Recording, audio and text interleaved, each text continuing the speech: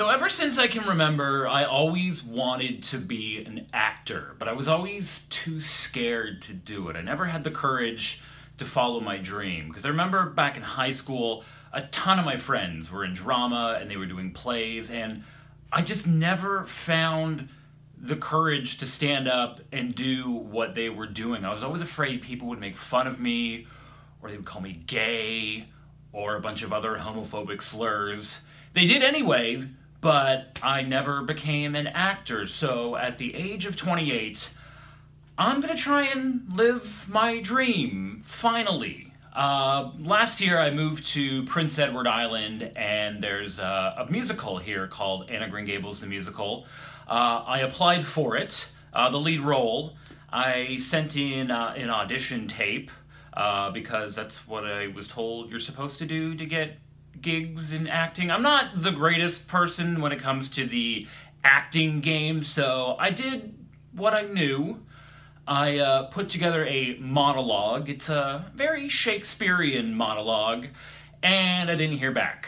I don't know if it's because my performance wasn't good enough, or your email wasn't anneofgreengables at gmail.com, but I'm pretty confident in my performance. I'm putting it out there, and uh, I'm going to share it with you right now. So, I'm Johnny Novak, and this is my acting demo.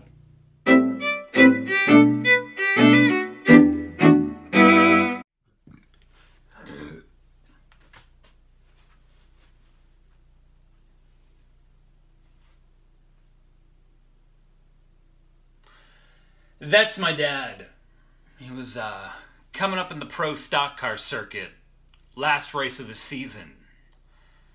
A guy named Kenny Linder came up from the inside, the final turn, and clipped his bumper, put him into the wall at 120.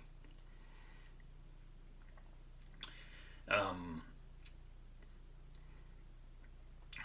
I watched my dad burn to death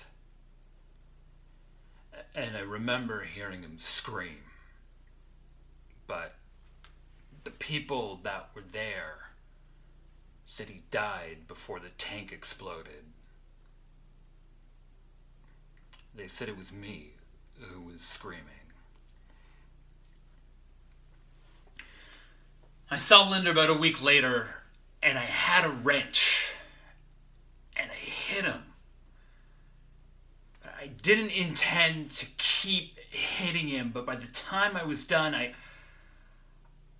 I couldn't lift my arm.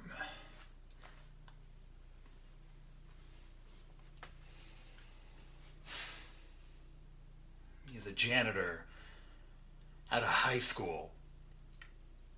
Has to take the bus to work every day. And they ban me from the tracks for life.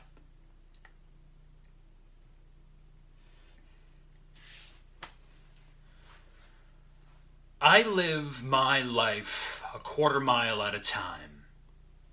Nothing else matters. Not the mortgage, not the store, not my team and all their bullshit. For those 10 seconds or less, I'm free.